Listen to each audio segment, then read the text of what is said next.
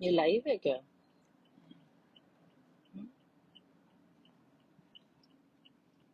Okay hello everyone good morning आज fifteenth of August Independence Day स्वतंत्रता दिवस की।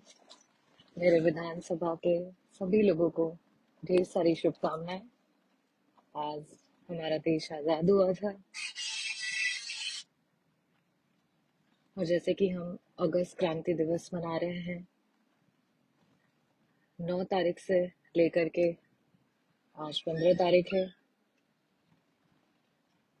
मैं आप सभी लोगों को बहुत बहुत धन्यवाद करती हूँ। आप सभी लोगों ने तिरंगा यात्रा में बढ़ चढ़ के पार्टिसिपेट किया और आज फिफ्टींथ ऑफ़ अगस्त को भी आप लोग तिरंगा लहराएँगे। राष्ट्रीय गान को गाएँगे। मैं आप लोगों को कुछ बोलना चाहती थी।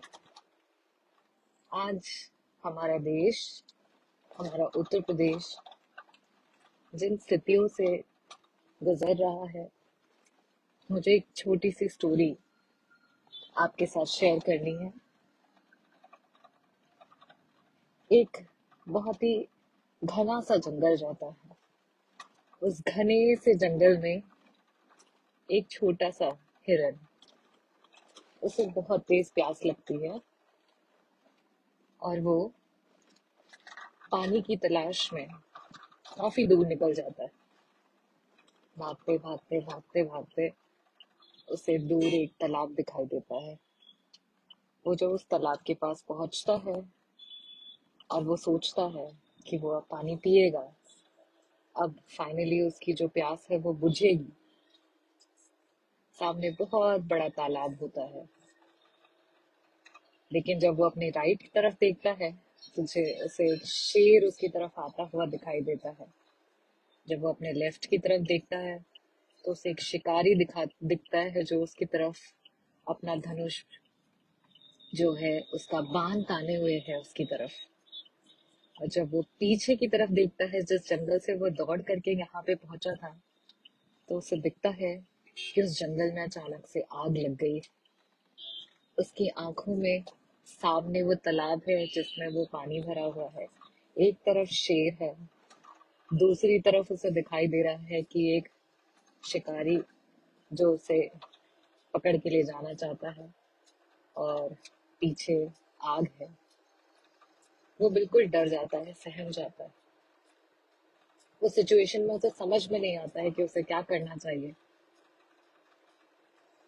लेकिन उसके बाद वो ये सोचता है कि अगले पल क्या होने वाला है ऐसे सोच करके मैं अपनी प्यास को ना बुझाऊं। तो क्या पता अगले क्षण में प्यासा ही मर जाऊँ। तो इससे बेटर है कि आगे जो भी होने वाला है, मैं कम से कम अपनी प्यास तो बुझा लूँ, मैं पानी तो पी लूँ। तो वो अपना सर नीचे करके जैसे ही पानी पीने के लिए जाता है, बहुत तेज बारिश आ जाती है। जैसे कि आज सुबह ही बहुत तेज बारिश हुई और उसी तरीके से बड़ी तेज से बारिश होनी शुरू हो जाती है। जो आग लगी थी जंगल में, वो शांत होने लगती है। जिसने वो धनुष का बाण ताना हुआ था, उस शिकारी का बाण गलती से जा करके उसका निशाना जो है वो चूक जाता है। और वो जाके लग जाता है शेर को, और शेर जो है वो कूद जाता है शिकारी के ऊपर। और एक क्षण में पूरा दृश्य, जो कि ऐसा दिख रहा था कि अब सामने कोई रास्ता भी नहीं है, वो पूरा दृश्य बदल जाता है। और जो हिरन है, वो एक रास्ता देख करके जो रास्ता उसे खाली समझ में आता है, वो उधर अपना चला जाता है। उसी तरीके से कई बार हमें भी अपनी लाइफ में ऐसी सिचुएशंस फेस करनी पड़ती हैं जहाँ हमें लगता है कि अब कोई रास्ता नहीं है। जब हम लेफ़्ट देखते हैं तो कठिनाई समझ आती है राइट देखते हैं तो कठिनाई समझ आती है। आगे पीछे हर डायरेक्शन में हमें लगता है कि अब हमारे पास कोई रास्ता नहीं है। तो आज इस पंद्रह अगस्त पे मैं आप सभी को यही कहना चाहूँगी, कभी भी निराश नहीं होना चाहिए। आज स्वतंत्रता दिवस इंडिपेंडेंस डे पे मैं आपको यही बताना चाहूँगी कि जो हमारे जितने भी फ्रीडम फाइटर्स रहे, उनको भी एक पल के लिए ऐसा ही महसूस हुआ था कि अब कोई रास्ता नहीं है। इतने सालों की गुलामी जो हम झेलते चले आए थे तो एक ऐसी मोड़ पे सब आ गए थे कि लगा था कि अब हम, हमें इस गुलामी से कोई बचा नहीं सकता। अगस्त क्रांति मूवमेंट जो स्टार्ट हुआ था, उसकी जो फाउंडेशन हुई थी, उसका जो डिस्कशन हुआ था, उसकी जो मीटिंग हुई थी, वो हुई थी आठ तारीख को।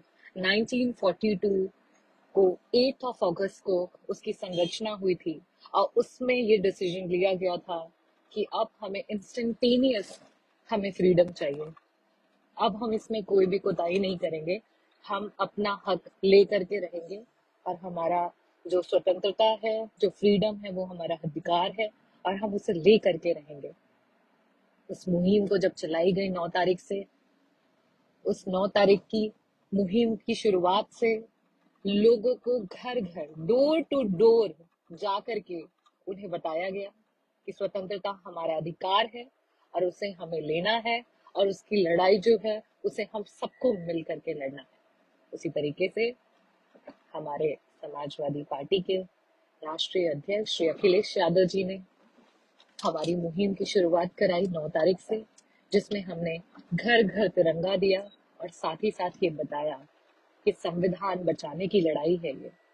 आज जिस खुली हवा में, जिस स्वतंत्र हवा में हम सांस ले रहे हैं, हमारा देश, इस आज़ाद देश के संविधान को बचाने की लड़ाई है और उसमें मैं अपने पूरे देश को, अपने उत्तर प्रदेश को और मेरी प्यारी जनता मछली शहर की प्यारी जनता से यही अनुरोध करूँगी, अपने दिल की मशालों को जला करके रखें, और हमें ये लड़ाई ऐसे ही जारी रखनी होगी, और आप सभी को इंडिपेंडेंस डे स्वतंत्रता दिवस 15 अगस्त की ढेर सारी शुभकामनाएँ। And a very good morning to everyone जय हिंद, जय भारत।